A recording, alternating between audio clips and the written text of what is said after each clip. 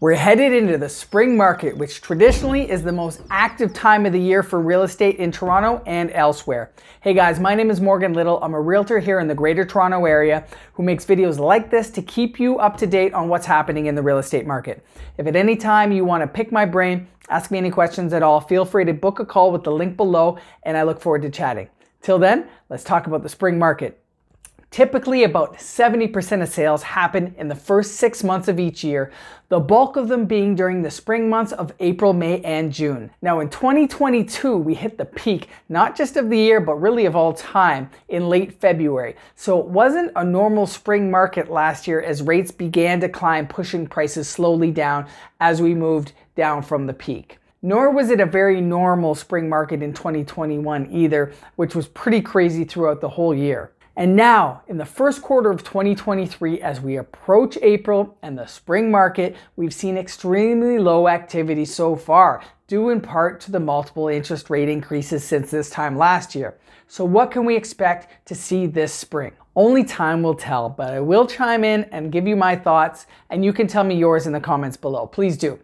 One thing for certain is there's a lot of uncertainty in the market, and a lot of people have been sitting on the sidelines. But prices actually increased in February for the first time in a year, even though there has been for many months and still is talk about the market crashing down. I'm not going to get into the whole market crash aspect in this video, but I will say we still have a supply issue when it comes to housing, especially in entry level homes, and an ever increasing demand. So don't hold your breath on the market crashing. People still want and need places to live. It all really comes down to your goals and what type of home and in what type of area you're looking at. Because for the majority of people, including a lot of the Toronto Property Finder users, they're looking for either entry level condos at five to 600,000 or entry level homes, detached or semis, anywhere in the 700 to 900, even up to a million um, in areas like Mississauga or Oshawa or the surrounding areas of the GTA.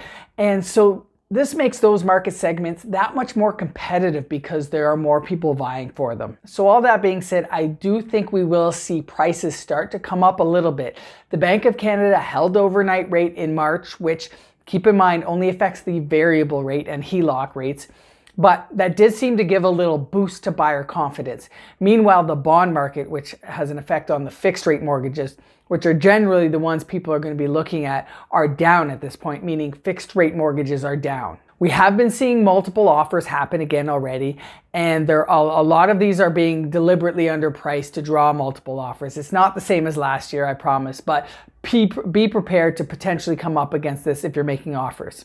You should be working with a realtor who can provide you the data and help guide you through the process. Now, for sellers, spring is the time that a lot of people wait for to come on the market, but like always, and maybe more than ever, you should take the time to prepare your home to be sold. A nice paint job goes a long way. Small repairs can really help a property show well.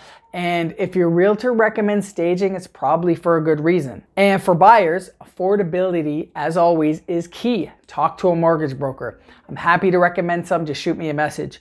But Go get pre approved, find out what price of home you should be looking at. If you've saved your down payment, talk to a mortgage agent, been looking at properties on Toronto Property Finder, and have been waiting for the right time, then really there's no time like the present. You should take a long view when looking at real estate. And if you do, you'll see prices trend upwards, not down.